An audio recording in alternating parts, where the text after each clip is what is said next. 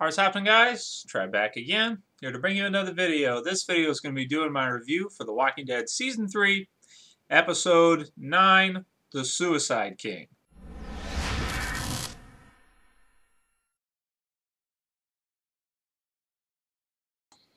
Yep, so The Walking Dead is back.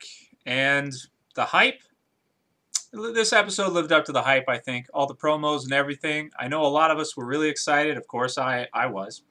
Um, and I, I, I, would have to say that overall, this was a fantastic episode. This was a great uh, start to the second half of uh, season three. Um, one of the better episodes, I think, uh, of the season, I'd say overall. I mean, you had a lot of things that I was really uh, wanting to see come into play. By the way, this uh, review will contain spoilers. We've had so much action throughout season three that we haven't really had a chance to slow down and see some good character development. This episode brought in some amazing character development, especially with the ending scene, which we'll get to and discuss in a little bit, probably near the end of the review, so I'll go se uh, sequential here. So we start off the episode at the very beginning uh, where we left off from uh, the mid-season finale. You have the governor, Daryl, and Merle, and uh, you know the governor forcing them to fight each other to the death. So that was pretty exciting. And then, of course, as we all kind of knew from the promos, we were able to break it down and, and sort of uh, realize that uh, you know Rick was going to get him out of there. Happened just as we predicted, just as we thought it would. They get out of there, and then next thing, um, something that nobody really predicted, which is that uh, Merle and Daryl went off on uh, their own, or at least I haven't heard anybody, uh, you know, give a prediction and say they thought that was going to happen. Most people, including myself, uh, thought that Merle was going to come back to the prison with them, and I think that would have been the best decision, even though the, the problem with it would have been, though, is that could they keep Michonne or, or Glenn or Maggie from killing Merle? Um, and that right there, that right there by itself, you know, don't know if they'd be able to do that, if Rick would be able to do that. Um, but they definitely could have gotten some good information from Merle about, you know, the governor, Woodbury, all this kind of stuff. So it's kind of um, strange that they that, that Rick didn't, you know, insist that they bring Merle back to get information about, you know, Woodbury. Because obviously what they started is, you know, going to be a war. So getting that information from Merle, I think, would have been the best decision. But of course, at this point, as we realize later on, Rick hasn't slept in what seems like a long time, probably since what happened to Lori earlier on in the season. Definitely hasn't slept recently with, uh, you know, everything. Um, so, you know, that really didn't come into play. So, Daryl and Merle going off on their own. Uh, as we can see from the preview for next week, looks like that will be um, pretty interesting. Pretty interesting to see. That'll give us a third sort of group to focus on because now we have obviously the prison with Rick and, and the guys and everybody. We have Woodbury with tons of characters there, um, only a few fleshed out ones. And then we have Daryl and Merle on their own, you know, going to who knows where. Who knows what they're going to do? Who knows where they're going to go? Are they going to stay in the area? Are they going to maybe go back to the farm? Does Merle know a place? Are they going to go back to their hometown, wherever they're from? I don't know. Um, that's interesting. So now we have the three, you know, things going on at once with different locations. So that'll make things kind of interesting, too, to be able to, to switch between and see what's happening with the different storylines, uh, all intertwining, of course. Um, we also found out from Carol that, uh, that he's been gone a week already, which, because it's all in one episode, you don't really think of time passing in that way. You wouldn't really think that there, you know, a whole week has passed since uh, Daryl left. Uh, in my my understanding through watching it, unless she said that, would have been that it was all like the same day. Like he, like Rick gets back and they're all doing the thing. She's going to sleep, whatever, you know, all that kind of stuff. Um, didn't really get a time skip sense there until she she mentioned that. Um, so there's that. Now, Michonne, of course, is passed out at this point. Uh, apparently has a concussion or whatever. And then Rick wants her to leave, which I think is pretty interesting because that's a lot different from what they did in the comic book series. You know, the comic book series was kind of like Michonne came and almost right away she was just assimilated or joined. You know, it wasn't too much trouble. But in this, uh, it seems like that might not be the case. So we'll see what happens with that. And um, moving on from there. So Daryl and Merle go off on their own. Um, zombies getting into Woodbury. That was kind of a cool scene there where you see uh, the zombie open up the, the metal plate, go in, and the guy afterwards getting getting bit. And that was pretty exciting too because it kind of came out of nowhere. He didn't expect it. Then Andrea takes care of it. By the way, Andrea's speech at the end was brutal, man. Oh my god, brutal. That that must that's got to be the only thing that I didn't like about the episode was Andrea's speech. It wasn't very believable. It was just like, you know, I don't know, man. I just I just didn't like it. I just wanted to you know, I, Andrea's in a weird place as a character and you just kind of want to see a little bit less of her kind of at this point unless she makes a good decision in the future. So we'll see what happens with that. But that was kind of like, you know, I don't know. I didn't really like that too much. I didn't care for that at all. Um, okay, so you've got Tyrese and the others kind of waiting patiently. We saw the preview before where um, you have, we, we now know all their names for sure. You have Ben, Alan, uh, Sasha, and uh, Tyrese.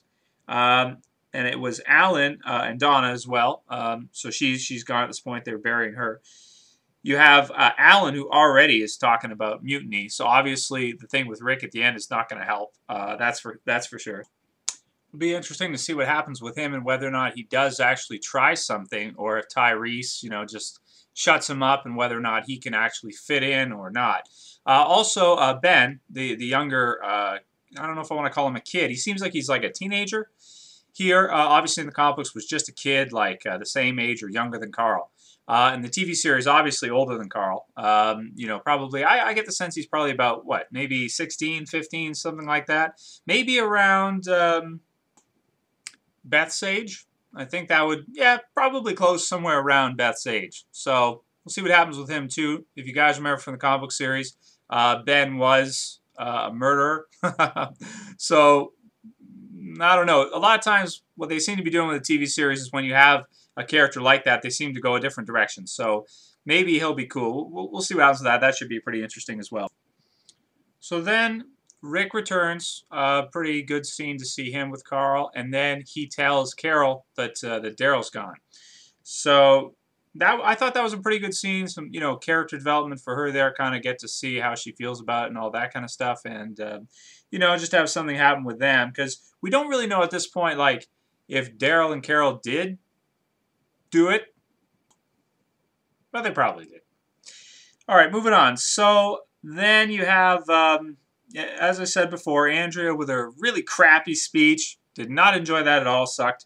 Um, then an interesting scene where you have Rick and uh, Beth hands him little ass kicker.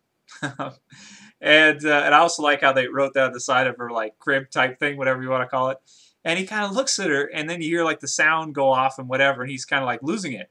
Uh, now th- that's real cool because you got to think about it. Okay, now what does that mean? Now she said Lori right before that, so is he thinking about Lori? Is, is that why you know you get the sound and he's kind of starting to lose it, or is it because you know Beth kind of says she has Lori's eyes and he looks at the baby and maybe he sees like Shane that would be sick. So maybe that's what it is. Uh, and then he starts to, you know, just lose it. Or maybe it's just that, like I said, that he's kind of starting to cope with or finally realizing the situation that, hey, my wife is dead, you know, because he's kind of been in denial and been doing all these things and trying not to think about it. And now there's finally a slow period again where he can finally start to think about it. Um, few more good lines between different characters. You have Hershel talking with uh, with Glenn, telling him he's like his own son, which was good stuff uh, talking with Maggie, uh, just a lot of different uh, dialogue between the characters.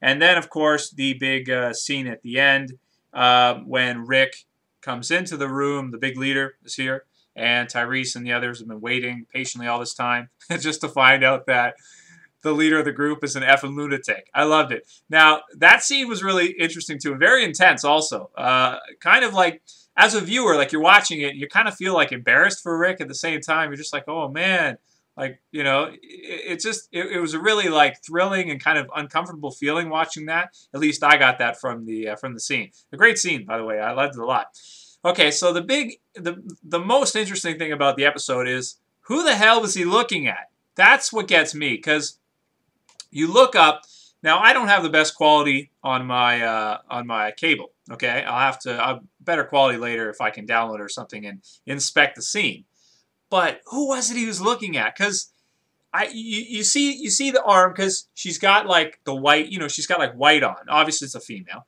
Uh, so I think white around here too. At first I was like, is that Michonne?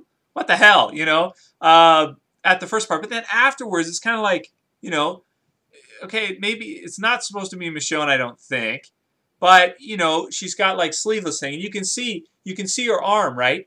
And I'm like thinking to myself, I'm like, is this supposed to be Lori? Because there's no way that's Lori. Lori is anorexic as shit. That arm is not hers. I love how he pulls his gun out and then everybody just like, all the people in Tyrese's group just like run. They're like, get out of here, get out of here, go. Um, and, you know, I'm not sure exactly where they're going with that because who is it supposed to be? I can't really think of who that would be. You know, obviously, you know, it's not Shane. obviously, it it doesn't look like Lori at all. Um, I just don't know what to say. I mean, hopefully later on we'll kind of figure out who that's supposed to be or or what the situation you know may be with that.